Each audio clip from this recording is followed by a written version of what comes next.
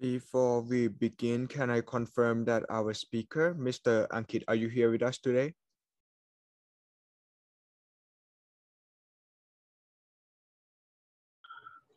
Yeah, hi, I am. Right. Thank you very much. So we'll begin the session. Distinguished colleagues, it is truly my pleasure to welcome you to the interactive session on our agenda item today. So today with us today, we have Mr. Ankit Malhotra, who is an expert on the agenda item, and he will be making a statement on the importance of the topic which has been allocated to our Peace Building Council. So after he finishes presentation, the floor will be open to the delegations for comment and question. So please prepare any question if you have them beforehand. I would like to introduce Mr. Ankit Malhotra briefly. So Mr. Ankit Malhotra has a Bachelor of Arts degree in International Relations from the Jindal School of International Affairs. During his bachelor studies, he worked with late Professor Dr. Nenkin Pal Kipchen and also read a co-authored paper on the India-China rivalry in South Asia, where he served as the youngest speaker at the 26th International Political Science Association World Congress in July earlier this year. He also co-founded the Jindal Society of International Law, which was launched on the 18 November 2020 by Herbert and Rose Rubin Professor of International Law, Jose Enrique Alvarez of New York University, along with the Vice Chancellor Professor Raj Kumar, Professor Dr. Vesselin Popovski, and Dr. Mohan Kumar.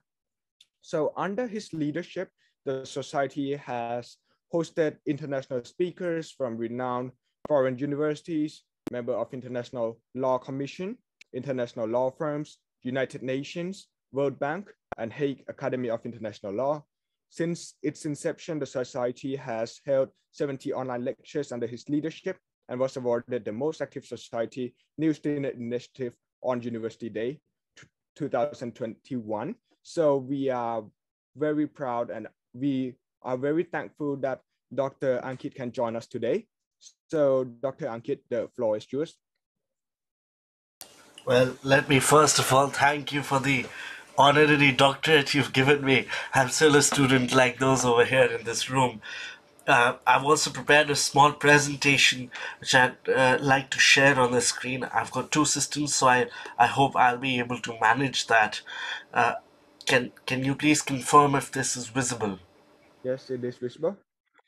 All right, thank you. Uh, so let me begin by thanking the speakers for giving me this opportunity to share and present on a topic which I have studied but not studied at length. But this project, this undertaking gave me the opportunity to do that.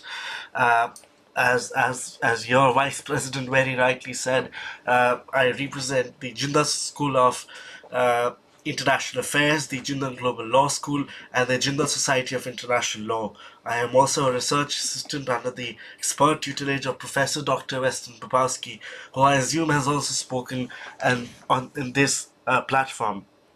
What I have designed for for the next 15 minutes in the uh, uh, following question and answer session is is is an introduction to peace building, natural resource management, and climate related security risks study. We then discuss and understand climate related security risks. We then see what are the responses to these challenges. We then look at the meat of the matter which I have been asked to prepare on, which is towards an integrated report or an approach to to, to these challenges. We then end with a summary or reflections which I will leave open ended and hope that there will be a discussion on those fronts. In the introduction, I've shared a quote that resonate, resonates with the feelings which I want to share and express through this presentation. But in the introductory part, let me also share that humans and human societies are dependent on nature. All aspects of human life originate in nature, be it food, water, energy, or shelter. Human lives substantially different from environmental and climatic conditions are affected diversely. Droughts and heavy precipitation, wildfires, and and such events influence this to a degree and extent which is unmatchable. We are witnessing today a climate change in both magnitude and speed of transformation as human activities also shelter and alter the Earth's climate. This lies behind the assertion that we have entered a new era, an era of Anthropocene. This is not only affecting all the types of changes already experienced in nature, but involves new features such as increased level of carbon dioxide in the atmosphere and oceans and unprecedented level of sea level rise. Given the alterations in the Earth's climate systems, the fundamental impacts that will follow the biosphere and human societies, climate change is increasingly becoming treated as a security risk. Its diverse impacts mean the security risks might follow on climate change but differ in climate change studies. An important aspect, the magnum opus in this, is the IPCC and the reports that it generates. In my studies, in preparation for this presentation, security risks, I've learned that security risks posed by climate change and the response to these risks vary on the organization which you discuss. The overall aim is to provide a practical alternative on how to address and work with climate related security studies. To do so, I will first analyze the diversity of the security risks posed by climate change in order to consolidate the knowledge of these risks. Second, by investigating how policymakers and practitioners integrate these risks into the policies and practical frameworks. Without wasting any further time, let me share concerns which I would like to highlight, which specifically deal with climate change and the challenges which we need to address as a collective. First being sea level rise and coastal degradation. Given the slow onset of sea level rise and the lack of historical equivalent events, sea level rise is an illustrative example of a field where the past may have low explanatory values when asserting security impacts and how to tackle this. The trajectory is well known as much as 70% of the world's coastline is expected to experience sea level rise, but the impact of this rise will differ substantially across regions.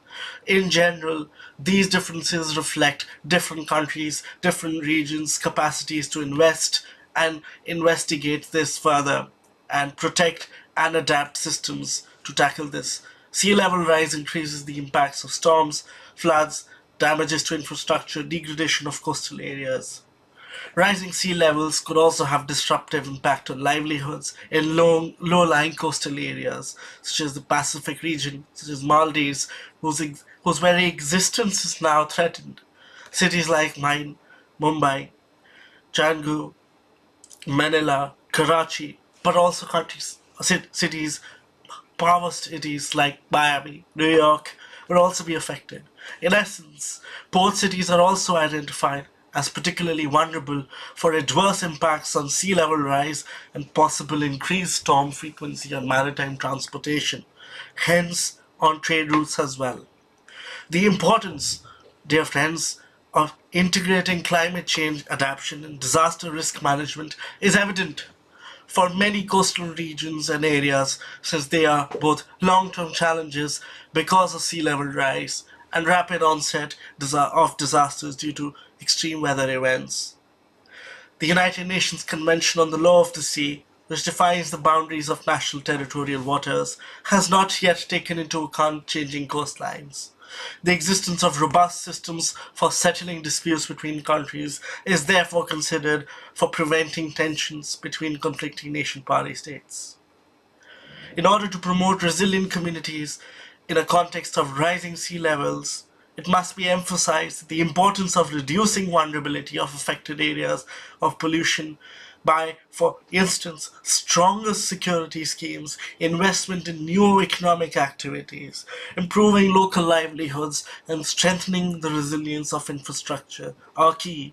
Need I point to any further than the extremely erudite address of the later leader of Barbados during the ongoing COP26, where she illustrates and explains these these thematic issues in realpolitik and economic values.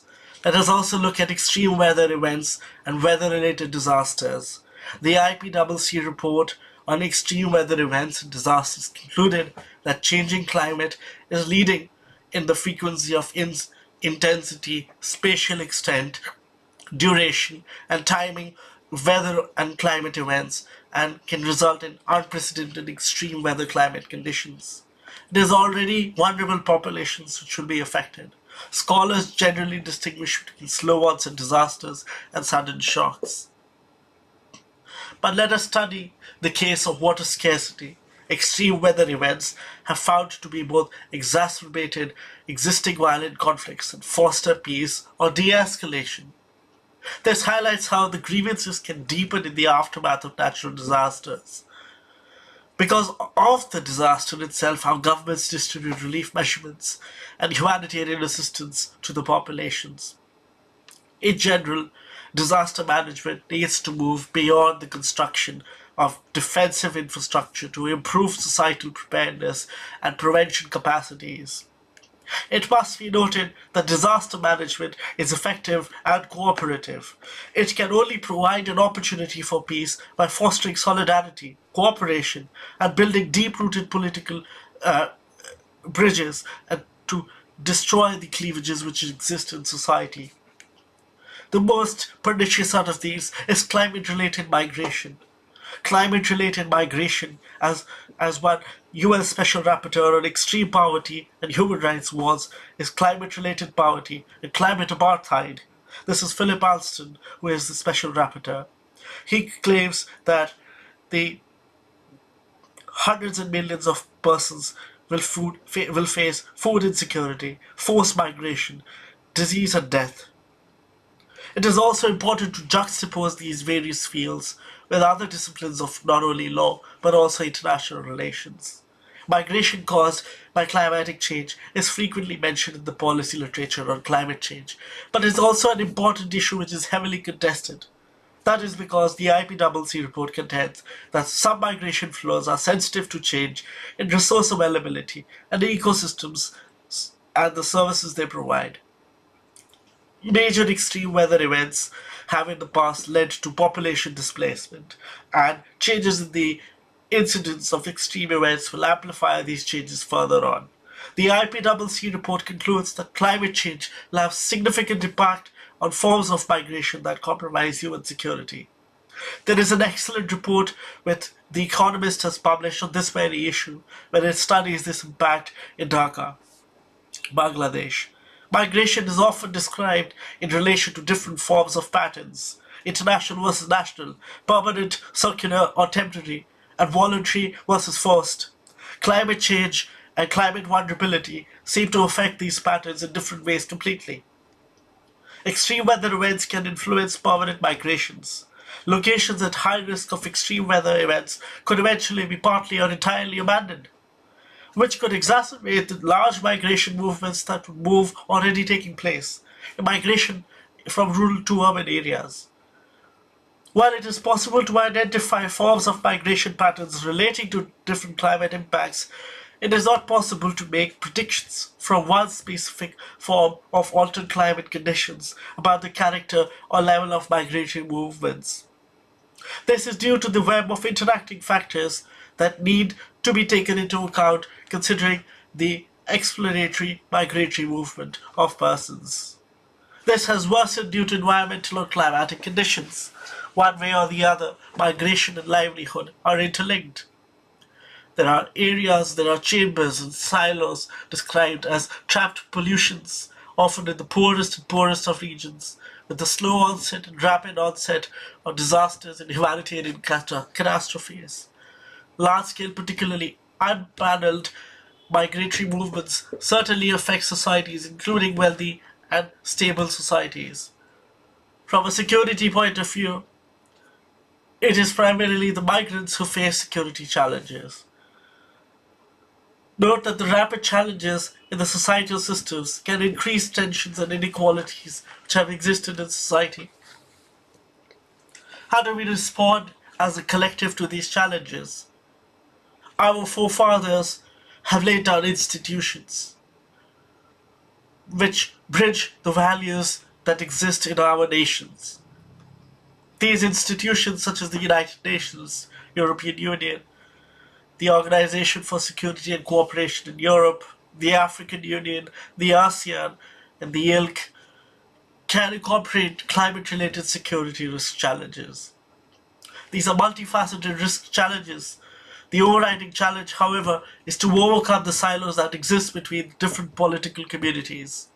To probe more into this heavily practical alternatives for accomplishing such works and contribute cons- concrete experiences of how organizations address climate change is important.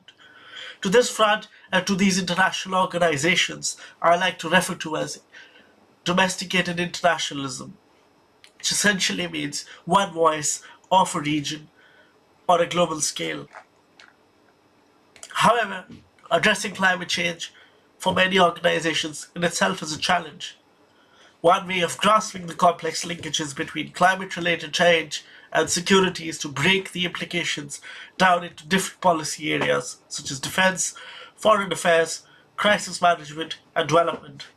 At the same time, however, due to the interplay between these different thematic areas, integrated responses between various policy fields are also extremely crucial. This involves, for instance, the integration of disaster risk reduction, climatic change adaptation, the involvement of local vulnerabilities and adaptation in capacity of security alliances and analysis, and integration of climate change into peace-building processes. Hence, to address the multifaceted security risks posed by climate change, organizations must address the issues that go beyond their traditional list of issues. Since security as a concept is strongly associated with hard security and a military response, many researchers, in my reading, are skeptical about the engagement of hard security military alliances towards climate change. Towards an integrated approach and conflict risks by national development organizations. This is further divided as I will proceed and forms the heart of the presentation which I have been asked to prepare on, or offers an excellent trailer to what I would like to expand upon in the upcoming part, which addresses the question squarely. There is a growing consensus among the parties and practitioners and scholars that combined climate, conflict, and fragility risk required to integrate and have a cohesive approach. Development organizations have often resultantly and recently started to integrate security implications and climate change into high level policies. However, the translation of high level policies into geographical strategies and programming has often proved challenging for nations and developing nations especially.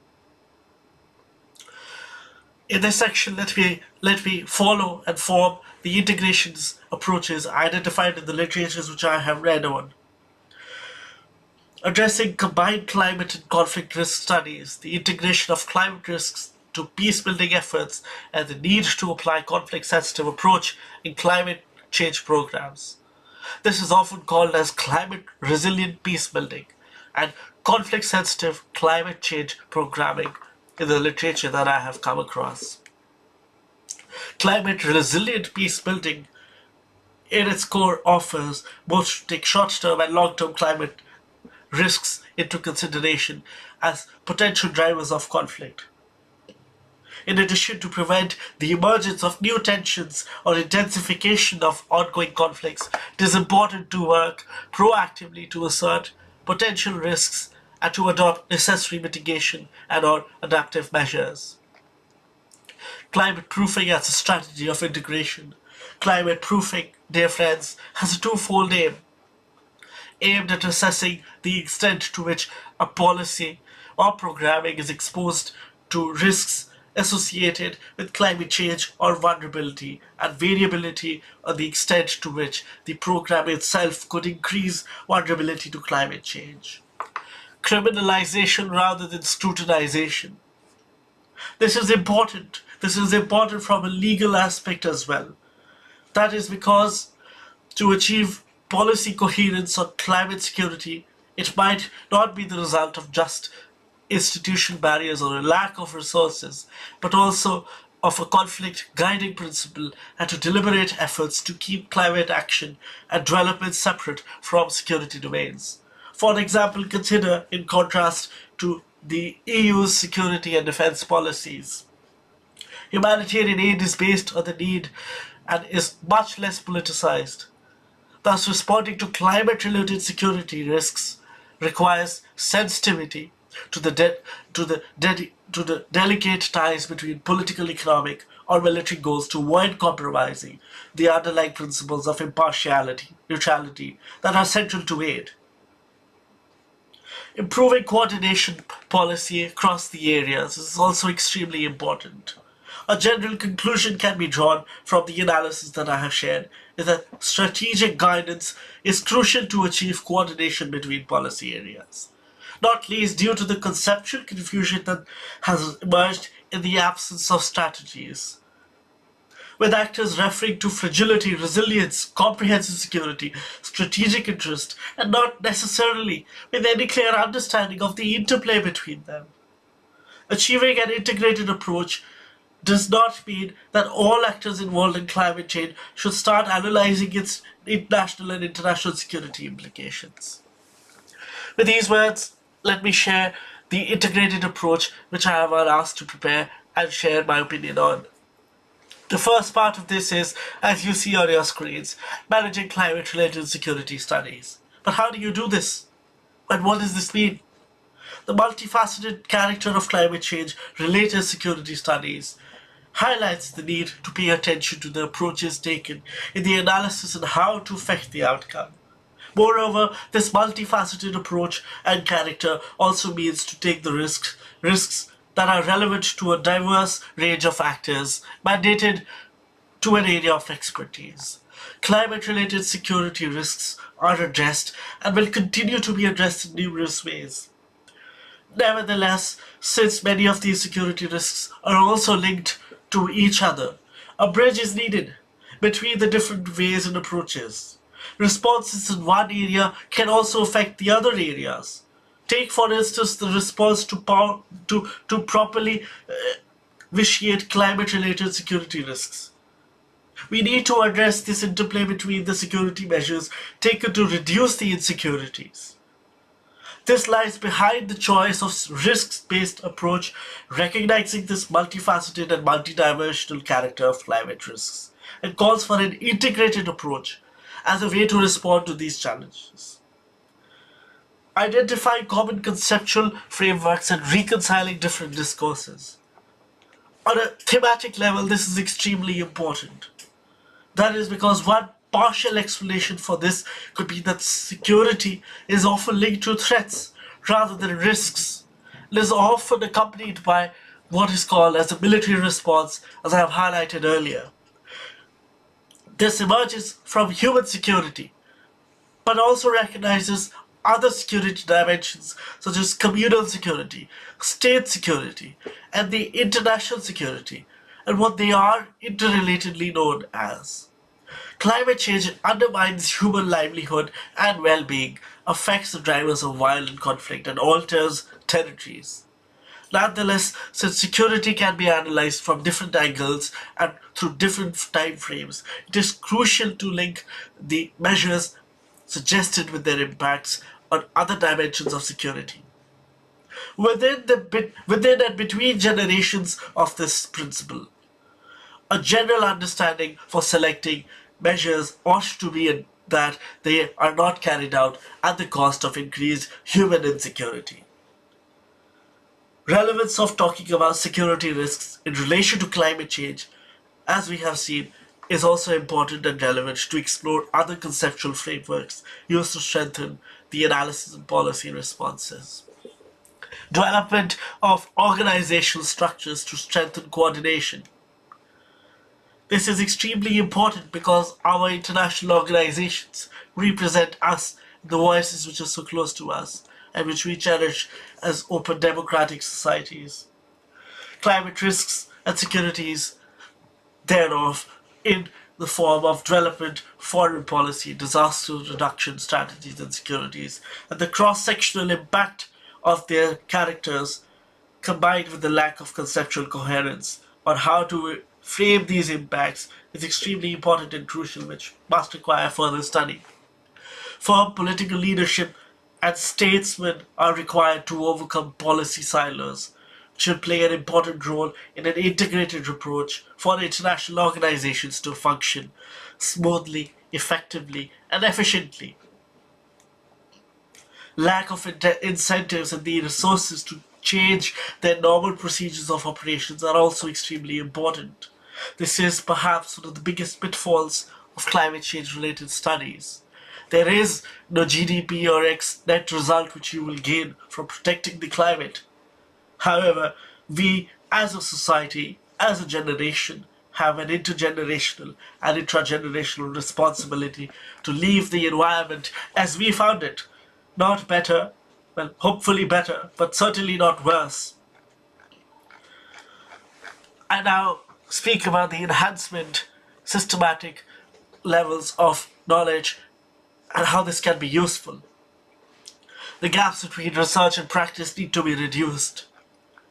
Secondly, there needs to be a bridge between short-term and long-term frameworks of study.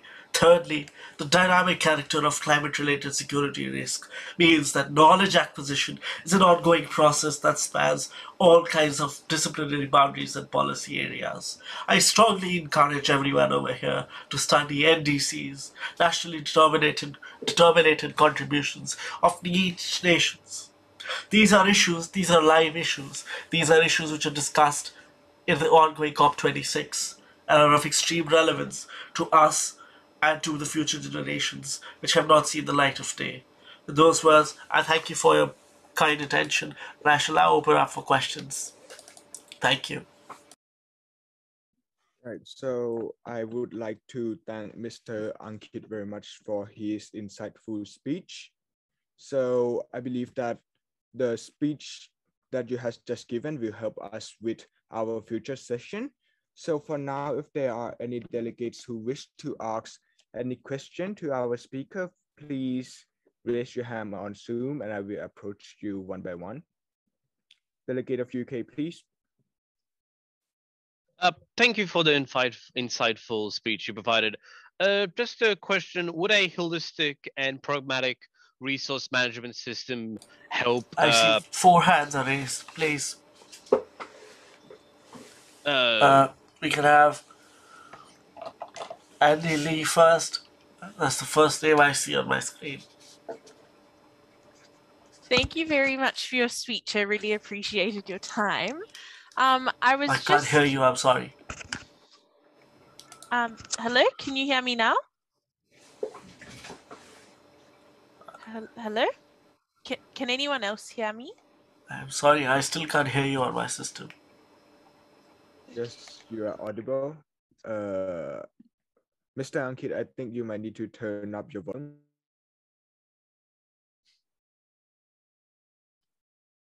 Yeah, please, please. Hello, can you hear me now, Mr. Ankit? Yes, yes, okay, I can. Perfect. uh, thank you so much for your time, and it was a really insightful speech. Um, I was just wondering if you had any tangible solutions that you were, that you would suggest for developed nations to assist developing nations with response with responding to these climate related risks um, and like would this include aid in moving towards green energy um, or how would you suggest developed nations aiding? Well you strike right at the heart of the presentation.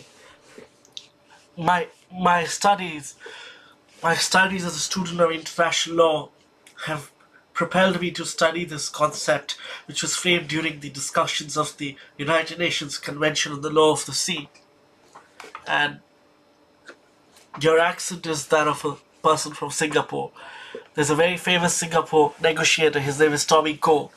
Tommy Koh played an instrumental role in creating the Convention on the Law of the Sea. He was also foreign minister for, for, for Singapore. And he said that the convention is like a sword and a shield. And what does he mean by that? He means that the convention can be used to protect and also to harm those. Harm those in the sense enforce rights in regions which are contested.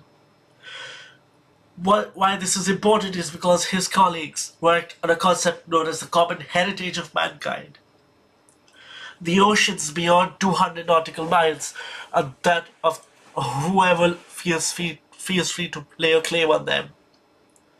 Common heritage of mankind coupled with common but differentiated responsibility, which was enshrined during the 1972 Stockholm Declaration, are extremely important actors and lenses which I encourage everyone to, to refer to. That is because they create the conceptual frameworks for you to understand. In my personal opinion, it is wishful thinking for you to hope that a first world nation will come to you or will come to your assistance. What I personally feel is it is the onus upon each nation to do whatever it is in their boundaries, to do whatever and however they can do to achieve the national targets, to achieve international targets as well. 1.5 is what we agreed in Paris in 2015. How you would reach there is a determination which you must make. Perhaps that is why it is known as the nationally determined uh, contribution. What I would also suggest and argue is work in regional organizations, ASEAN, the African Union, the Latin American states, organizations such as these, in my opinion, is where the answers lie because they understand one another and to a very large extent they have a common historical lineage.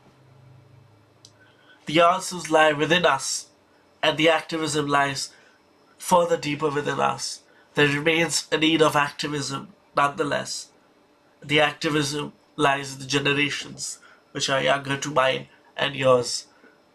It is unfortunate that the mantle of change has been taken upon them and by them, but in the name of protection and safety. Someone has to.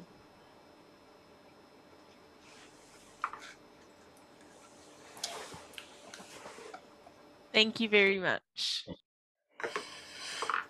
Next delegate of Nigeria, you may ask your question. Uh, thank you. Uh, thank you, Mr. Ankit.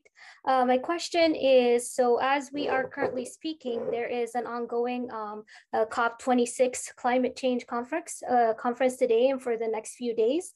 And uh, several major powers, including USA, uh, China, as well as Japan, have not signed this pledge. So even though your work is within international law and um, well, treaties that are not signed will not be binding, uh, should there be any uh, decisive measures against nations that cannot adhere to decarbonize or refuse uh, to sign such ple pledges? And if so, what kind of uh, effective measures uh, would you propose? Thank you. Well, thank you for this question. Uh, I am in agreement with you because I also feel that penal measures, not only penal measures, but criminal measures must be attached to those perpetrators who are responsible for these changes and also responsible for for improving the situation for us heading towards a 4 4 degrees Celsius hotter climate or a hotter weather situation. But that being said, let me point towards this as a legal uh, student COP26 and the Paris Agreement, specifically with respect to the Paris Agreement, to come out of it and what the previous government did was not done at that very moment. As soon as the present government came to power, the Biden administration, it put the US back into the framework and has to abide by that. Other countries were also mentioned. China is taking a very strong hold in trying to improve measures, it has said that it will go carbon net zero by 2060. These are declarations which states are making. However, there is also an independent panel report which has created the sixth or, or another level of, of penal consequences for the for the Rome Statute. The Rome Statute creates the International Criminal Court in the late 90s.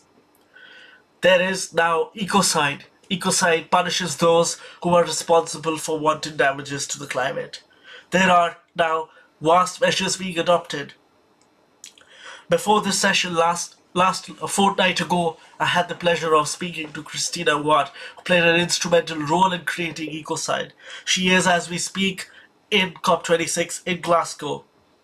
She remained strongly in favor of states working together and coming to the coming to the table for a solution. let me also share what once was, was told to me by Professor Popovski. He was asked that what does the United Nations bring to the table? He said, well, the table, the United Nations and such forums are places where states come and negotiate.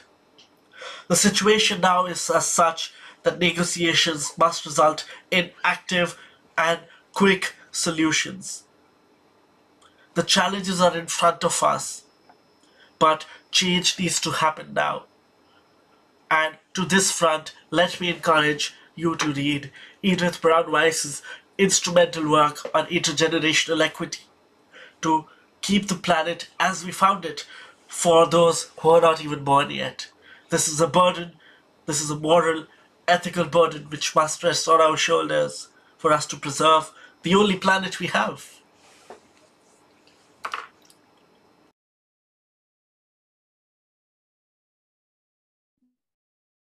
Thank you for your answer. Next up, can we have the question from Pakistan, please? Thank you for your speech. This is kind of tangent to your presentation. Uh, my question is that, like, even though there's apparent climate-related security risks, there's a growing sentiment that climate change is a hoax. Even in like member states that have literacy rate close to 100%, as having them potentially delay the actions towards climate change, like we saw during Donald Trump's America, what kind of solutions do you think will resolve the situation? Well, in a concoction of of politics, science, and economics, this was bound to happen. You hmm. must understand. You must understand and remember that each country adopts and looks at challenges differently. As you very rightly pointed it out, the United States of America will look at it as an economic problem. The European states will look at it as a political problem because they need to reach a consensus. The EU needs a consensus as a voice collectively. But here lies the catch with the European Union. They will reach a consensus. There will be leaders in this. However, for nation states like yours and mine, for us, it will be an ecological debt that the first world states owe us. And that is the point where the discussion becomes extremely and acutely political. This is not a political discussion. This is a discussion for the livelihood of those who are not even born yet. We must separate the politics and the science look at them separately. Political actions and political statements are made, but they're flawed. What Trump said all those years ago was not even true politically or factually or even legally. So there's not much weight attached to that. But there is merit attached to it because that influences the perception and thoughts of persons. But this changes very quickly when things start happening in their own backyard. And climate change, like a pandemic, is not is not like a crash on the Wall Street. The Wall Street did not affect your nation and my nation as it affected Western European nations. However, climate change and a global pandemic has affected all our lives this discussion is happening over a, over a platform which was created in the pandemic. So much else has happened in the pandemic. Possibilities have, have become means on which we survive. However, with climate change, the consequences are unknown, and that we as a, a generation must fear. Thank you very much. Um, if the delegates have already asked the question, please lower your hand in Zoom so I don't get confused. I think up next we have Costa Rica. Yes, thank you. Uh, thank you, Mr. Um, Delegate of Costa Rica uh, would like to ask um, uh, Mr. Ankit uh, the, the opinion regarding the current situation that many countries uh, they put their more uh, their attention to the modernization of its own states. For example, like making a building a modern city and improving the technology and else. Like for example, uh, from the news that I have read that uh, Kuwait, uh, its is trying to build like a modern city by uh, 2035. But until now, no, not, uh, the, uh, Kuwait not yet has a plan for joining other countries to as a carbon neutral countries by 2050. What do you think like about this? Do you do you think modernization is should be like the main focus for every countries, especially like this current time, you know, many global warming and high climate change and else? That's all for my question. Thank you. Thank you. Thank you for your question. Costa Rica is home to the United Nations University. Thoughts in universities are crucial. Thoughts coming from universities are crucial. Let your university not become a firebrand as so many other universities have become across the Western world. What the pandemic has taught us is to reimagine and rethink everything, especially with architecture and spaces. What the Kuwaiti imagination is, I confess I have very little knowledge about it, but what I can share positively and faithfully is that it will take into account measures which are green, which are renewable, which are sustainable. Because sustainability is key. And sustainability and modernization must not again be looked at as a loss of one and another. That being said, modernization must not stop. For third world countries, modernization is key.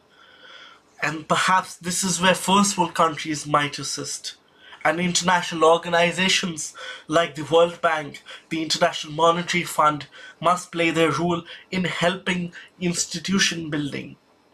Let me also share that India lost as much as the United States lost in the fall of Kabul.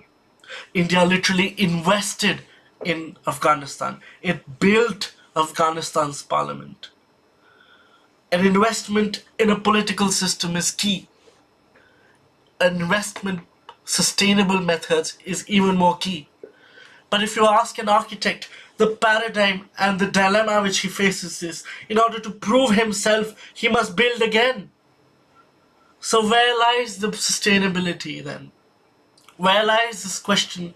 Because you are exhausting resources by building again just to prove a point of sustainability. These are important discourses which have sprung in the pandemic which you must ponder upon. Peace building in itself is a framework which you must study, as I hope you do, in this curriculum and also generally. Architecture and other means will develop in a greener way, hopefully in the near future, and with better technologies. Thank you again for your insightful answer. So next up, I would like to welcome Delegate of Kenya, which will be followed by Peru. Thank you very much. Um, my question is what negotiation and diplomatic tactics and tools have you developed throughout your career that you believe are particularly useful in um, model United Nations simulations? Um, and that question is particularly in the context where states that aren't meeting their uh, previous climate agreements um, are refusing to sort of change their stance. Well, I must share with you, I have no experience. I'm still a student. I'm still studying the law, and but I have had experience of hearing firsthand views on creation of treaties and, and, and, and conventions. You'll be surprised to know that states function in absurd ways. You would have never imagined an agreement or or or a caucus headed by Iceland and India, but it happens. Why does it happen? It happens because they are literally sitting next to each other in the United Nations. Add Hungary to the myths. States function in different ways, but there remains a common denominator national sovereignty and interests. Each state must protect its sovereignty at whatever cost. But once you come to an international organization, you must shed the cloak of sovereignty. Only then will you be able to achieve, achieve solutions which are sustainable for all. States have over time functioned in blocks and they will continue to function in blocks for the near future. This has been most relevant and also seen most recently by myself in the election of the latest judge for the International Court of Justice, is Hilary Charlesworth of Australia. Look at the nations which support her. Look at the nations who support her fellow candidate. You will very, very easily see where the trust lies of states and nations. You cannot separate the politics from the reality. Negotiations are influenced by a lot of factors, but sovereignty, I repeat, remains key and integral to this discussion. But that being said, don't discount the fact that small nation states, or nation states which you might feel are insignificant, cannot do much. And this is a common misconcep- misconception that only the United States of America creates laws. No, that's wrong. I encourage you to read international legal scholars like R.P. Anand, who speak about the creation of international law before the European models as we know them now. International law is older than the European models. In fact, it is older than European nations themselves. I mentioned the United Nations Convention on the Law of the Sea and Common Heritage of Mankind. The concept of common heritage of mankind was propounded by a by a negotiator or a uh, representative from Malta. Malta is a small island in the Mediterranean, but it was able to garner support and traction on views which have transformed thinking completely. States can negotiate for the betterment of not only themselves but also others. But what remains key and instrumental in that is to be able to come to the table, talk, and most importantly, listen not just hear.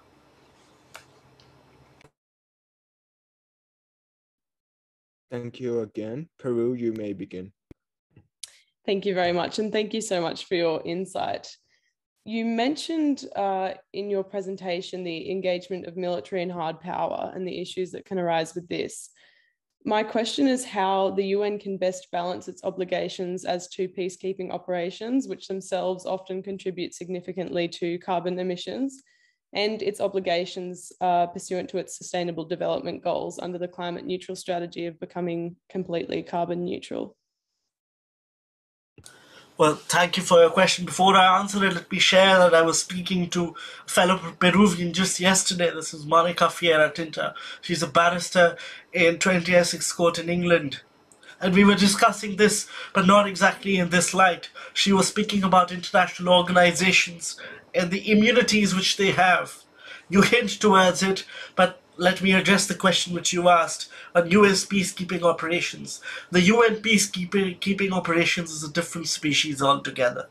What you need are institutions which are focused and which are more penetrative in their approach when it comes to the issues which we had which we have discussed throughout the presentation.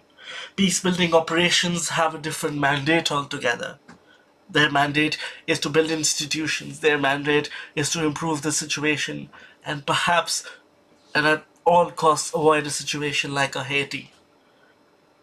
And also, they must not never abuse the powers which they have in their arsenal and armor, because that that reduces their credibility to an extent which is unimaginable.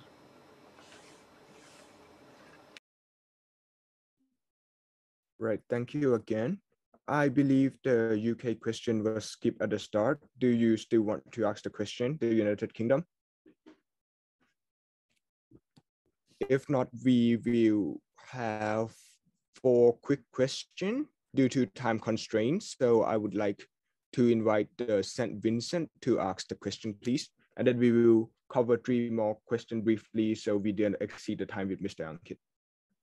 Okay, so Thank you, Mr. Speaker. I would like to ask the delegate of St. Vincent and the Grenadines would like to ask about that um, from the from the current situations. To what extent would you think the the oligopolies such as the GAFAMs, the Tesla and Tesla and so on, how could they contribute to the climate change and peace building security related issues according to according to the situation now. Thank you.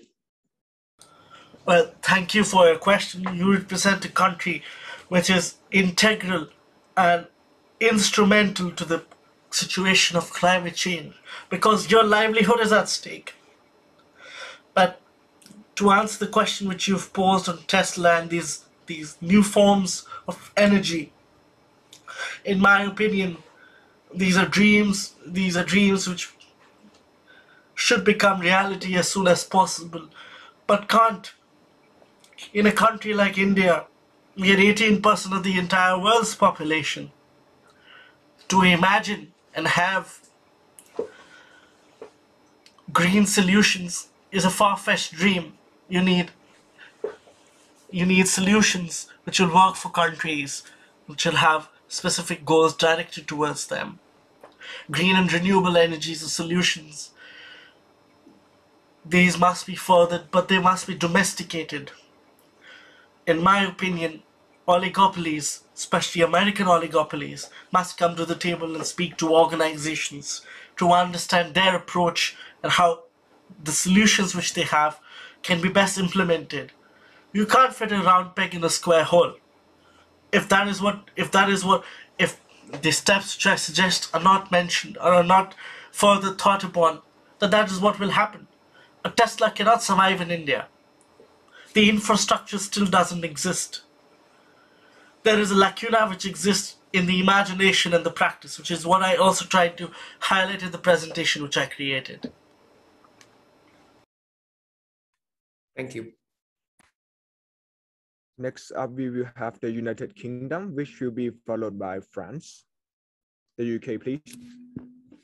Thank you for your presentation. Uh, my question is just in regard, would an organization that manages resource that looks at resources in a holistic and pragmatic way be effective in ensuring that resources are not the main uh, source of conflicts in the future? Well, resources are the source of conflict. Look no further than South Asia and recollect what George Bush once very famously said. He said this in the context of India. He said that Kashmir, which is a disputed territory, which as you as the British delegate would know best about, is the world's most dangerous spot you see flashpoints in the South China Sea as well. You see this working out vis-a-vis Taiwan as well. The war for resources has continued since the end of the Cold War and has no end to it. New conflicts have stopped, but existing conflicts have, have continued, all in the name of resources. And the scramble for Africa continues. Look at the advances China has made in Africa, piercing through in the name of cobalt and other resources. Cobalt, dear friends, powers the mobile phones which you use. Look at the diamond industry. The diamond industry strives in these regions of Africa. There was an excellent article in the Times magazine a couple of years ago. It spoke about the it speaks about the exploitation of resources in Africa. Resource wars will continue until and unless the greed has been satisfied. The greed knows no bounds. So when will this stop? Look at Russia. Look at the Russian advancements and how the, the, the Nord Stream is now used as a tool for political arm twisting. Vestiges and fragments of resource wars continue and will continue until and unless goals of a larger scale are not realized and collectively imagined to have solutions for. Next, I would like to invite France and we will end the session with the last question from Timor-Leste. So France, you may begin. Uh, thank you, Mr. Ankit. Like a very uh, inspirational uh, speech. Um, I'd like to know that, like as you mentioned, how the agenda of the resolution of climate change is affected by politics and economics. But uh, do you think what is uh, what is the most important motivation for the states to set aside those political and and economic like benefits to really focus on the uh, resolution of climate change, like from a very scientific um, perspective? Well, the simple answer is survival. You, as France, should realize that your former colonies are also satellites for you. Satellites are only for you, but for the entire EU. You provide, as EU, benefits to them, citizenship to them, currency to them. There was a famous case which is just included in the uh, uh, well, an advisory opinion was asked for the from the ICJ on the status of the Marshall Islands. Are these colonies or not? Was asked. Why? Because the Americans and the British said that these are colonies which we use, these are satellites and military standpoints which we use, which are our domain. We use these to protect the Indian Ocean. That's one aspect of it, military aspect, financial aspect. Once the empire ended, yours in the British Empire has ended, a new empire was created. Island nation states like Timor-Leste, St. Grenadines, Bahamas, uh, all British overseas territories became financial hubs. This was the neo-colonial empire. You can also look at places like Malta you can also look at other places in the Mediterranean Sea, which are extremely important for this purpose. Investigative reports have time and again highlighted how money is stashed over there. Why I'm highlighting this is to highlight and underscore the importance attached to these regions. What happens to these regions once they no longer exist? what happens to the situation what what is the situation that exists for the persons in these regions where do they go where do they come can europe can france can the uk which has closed its borders now in the name of brexit afford another migration influx will germany be open as it was does it still feel the guilt or will it adopt a hungarian approach and close its borders. Also remember that borders are often romanticized. The Great Wall of China. The Great Wall of China was built to protect the hordes from, from the Mongols, from the Genghis Khan's and, and vast empire. Why I'm highlighting this is because to highlight the importance which exists in history. History can be studied in different sense and perspectives. But what remains important is to come to the table and forget these differences. There, in my personal opinion, should not be an ecological debt. There is only one debt which we owe to those who don't even exist, is to provide a world which was as good or, if possible, a better one to the one which we entered and lived in. As things stand, that seems like a dream and not a reality, and that leaves me bereft. Thank you so much for your answer. So last but not least, we will end the Q&A session with Timor last question. Um, thank you for your very informative speech. I have a quick question that since um, renewable energy is very popular among those developed countries, but for Timor-Leste, this kind uh, poor and underdeveloped countries, we don't have the money and technology to develop such green energy. So I'm just, I just want to ask, is there any kind of program that can help us? Thank you. That's an excellent question. Honestly speaking, I don't know. I say so because there remains no solution to this. What happens to small island nation states? What happens to third world developing, uh, developing states? What happens to states like Ethiopia? What happens to states like Sudan? They've not even been vaccinated. Vaccinations themselves, the the permit, the, the, the permission to, to, to, to manufacture these, the agreements, the, the, the, the trademark agreements to publish have not been given institutions like the World Trade Organization are in flux because the Europeans don't want to share this. Well, that's just one perspective of it that the Europeans don't want to share it. That is the reality. You can't you you can either admit it, move on and look for solutions collectively, or you can lament about that fact. Scholarship unfortunately laments about the fact that they won't want to share it. As a practical solution, you have to look for something.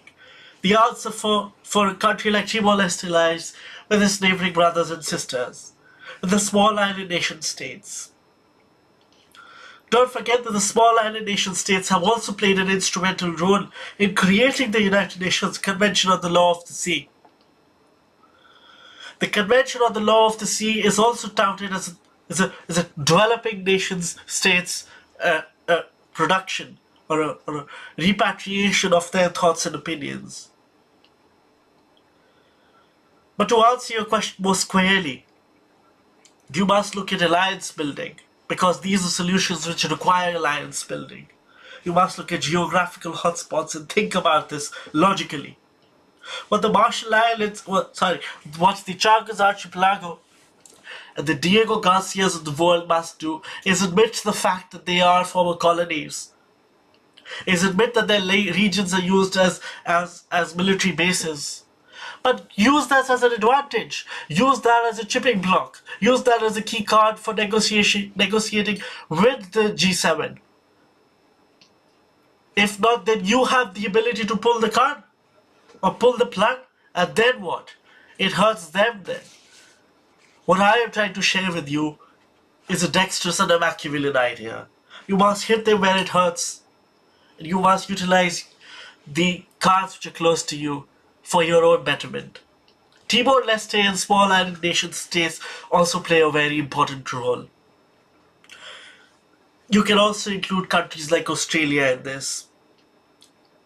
I encourage you to look at the international map of submarine cables. Submarine cables carry our internet signals. This call is possible because of that. It is not satellites in the sky who can carry our internet signals. I urge you all to look at submarine cables and how vast that map is. In fact, let me let me just share it because I find this extremely interesting. It shows you how important submarine cables are in the 21st century.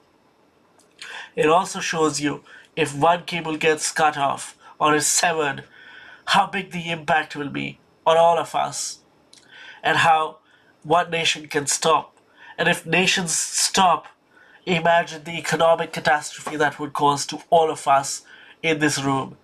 Because money moves through cables, money moves through the internet. It is no longer sent in other modes and mediums. I'll share this and I'll make the point, and then if there are any follow ups, I'll be happy to take them. But I find this extremely interesting. This is what the world map looks like. These are all submarine cables, dear friends. This is India. Imagine if, imagine if flag gets severed. imagine if flag is severed. What are the economic consequences of that?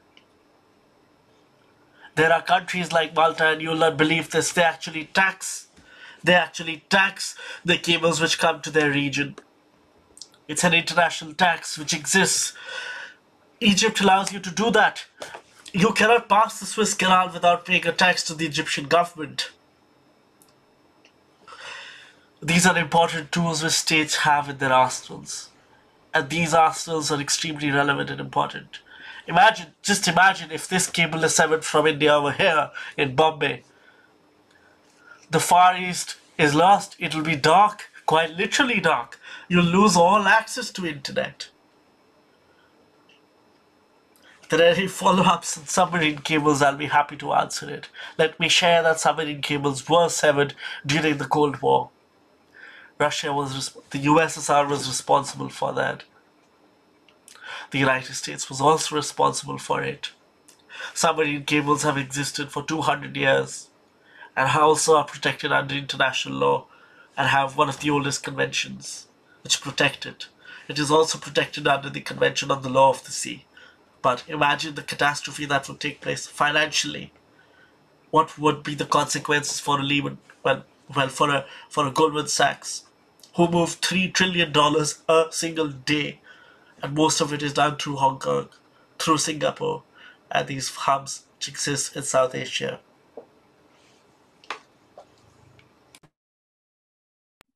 Right. Thank you very much, Mr. Ankit. So you had given us a very informative one hour session, both your presentation and the Q&A session. I would like to thank you again, and I hope that the delegates can use the knowledge that you has given and incorporated it into their future session. So thank you very much. But we thank you, thank you, thank you so much. Yeah, it was it was a pleasure presenting this before you. I have also learned whilst preparing for this, and I'm thankful to the organizers for giving me this opportunity to share my thoughts on this interesting topic. And uh, I can stay in the room for a while, and if there are any questions, I can I can take them up. No problem for me. I really appreciate you spending time with us today. So if there are any questions, further question, feel free to pop them into the chat box for Mr. Ankit. But in the meantime, I would like to give some notice for the delegates for tomorrow's session. So there will be some technicality that we have to go over. So for tomorrow's session, we will be splitting into four regional groups, which we will be using four separate Zoom room. And we will also be using the Chatzy link that I have already mentioned earlier on today. So I would like to demonstrate them to you so you guys don't have any technical difficulty tomorrow. So firstly, I will be breaking out into four rooms randomly for today, but for tomorrow, it will be based on your regional groups, which you will be assigned, and we are currently finalizing the information. But for now, I would like you to sort of like experience what it will be like for those who are unfamiliar with Zoom. So I will, when I press the breakout room, there will be four breakout room, which you will be assigned. And then you can sort of like chat and open your microphone and speak with everyone in that room as usual. And then when I end the room, everyone will be automatically ended and moved back to the main room. So I will demonstrate that right now. I will randomly assign for today, but for tomorrow, it will be dependent on the regional groups that you are assigned prior to the session. So this will be what it will be like for the breakout rooms.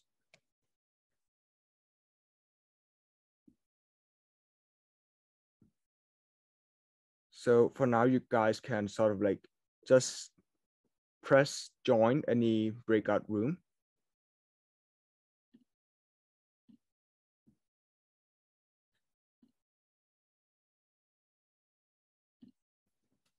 Sorry, I'm not sure if that's working. Let me try again. Yep, this should work now.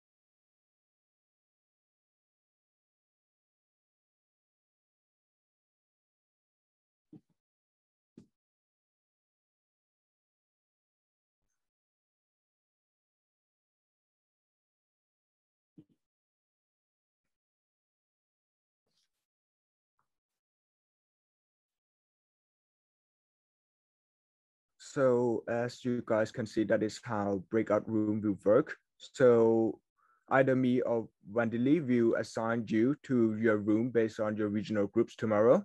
And all you have to do was just press join that group and then you can go and have an informal discussion in the separate breakout room. And when the time exceeded and the there will be a pop-up session where it will say just like you had experienced that you will have 60 seconds to go back to the main room and you will all pop back into the main session. So that will be how it will look like tomorrow for the regional groups. And for the other thing that we have is about the Chatzy group, Chatzy link. So let me try and share this. So basically, this is what it will look like tomorrow.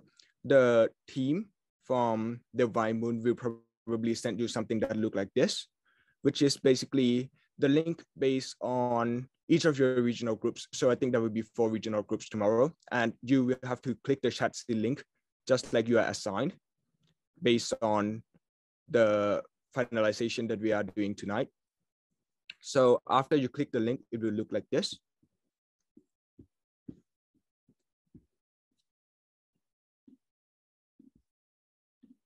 This is the Chatzy web page. So after you click the link, it will pop into this page. And all you have to do is type in the password that I had already attached in that page, and then you click enter room.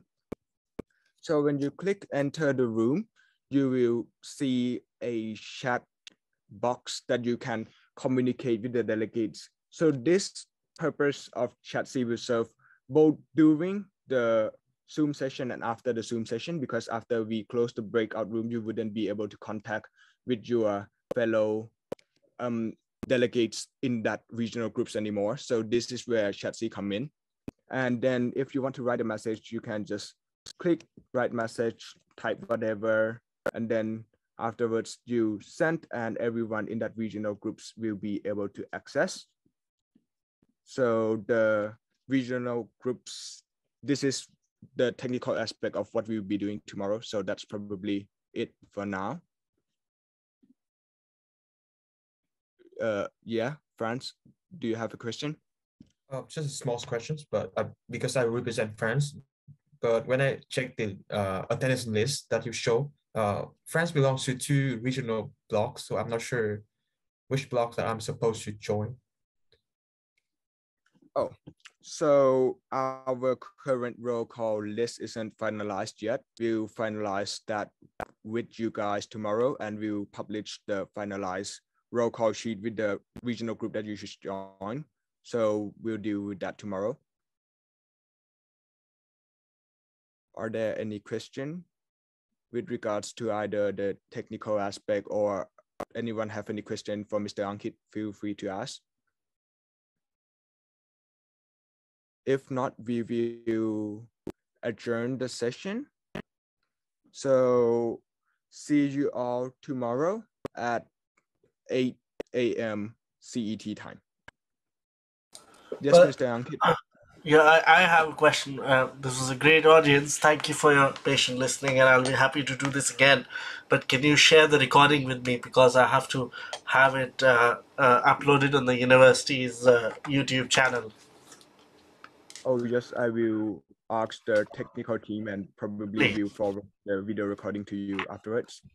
Please, please, please. Thank you, thank you, everyone. It was excellent uh, speaking and seeing you. This is, this is a anomaly to see persons uh, on Zoom. Usually it's just black screens. So it's very informative. Please do kindly let me know if I can be of assistance to anyone. Uh, I'll share my my uh, LinkedIn over here so that if you have any questions, please feel free to direct them. And uh, you can also join the society, the Jindal Society of International Law. We host speakers on international law and international relations every every week, and uh, we can add you to our our group, which is which is now 600 members strong, and you can uh, participate in it as well. I've shared my LinkedIn. You can message me, and we can connect over there. Thank you, everyone, and I look forward to the recording, which can then be uploaded on the YouTube. Thank you, everyone. Good evening from India.